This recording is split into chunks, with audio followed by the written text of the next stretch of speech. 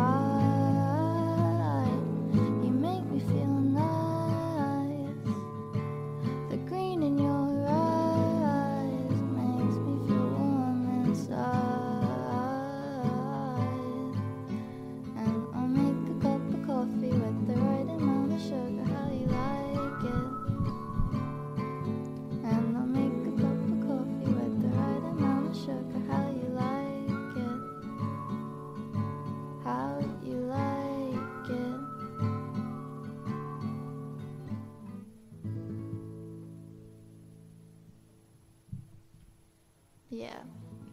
Okay.